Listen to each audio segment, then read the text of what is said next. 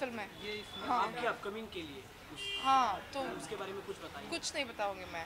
बताओ कि आप एक एक्साइटेड से बजट आने वाला है तो क्या यार, रखती है कि आप कुछ नहीं मतलब हो गया हम यही सेंटर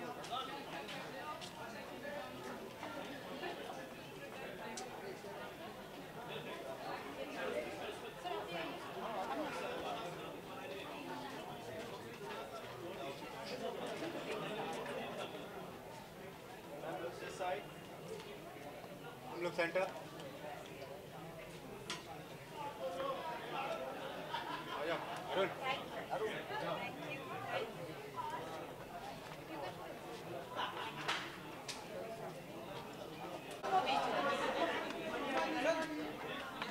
बोलेंगे लोग सेंटर देखा ही होगा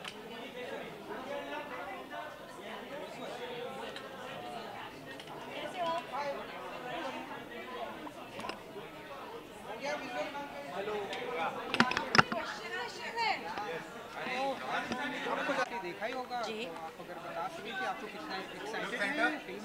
लिए मैं बहुत ही ज़्यादा। मैं बहुत ही ज़्यादा एक्साइटेड हूँ फ़िल्म देखने के लिए। मैं स्टार्टिंग से बहुत एक्साइटेड थी। आई थिंक अलाय और करण बहुत ही ज़्यादा अच्छे एक्टर्स हैं एंड ये करण की फ़र्स्ट मूवी है तो मैं देखने के लिए बहुत ही ज़्यादा एक्साइटेड हूँ। And even Vicky Kaushal is in the movie तो मैं बहुत ही बहुत ही बहुत ही ज़्यादा एक्साइटेड हूँ देखने के लिए। किसी का भाई किसी की जान का टीजर भी हमने देखा है। ऑसम है थोड़ा सा आप बता दीजिए कैसा रहा एक्सपीरियंस जैसे आपने बोला सलमान खान?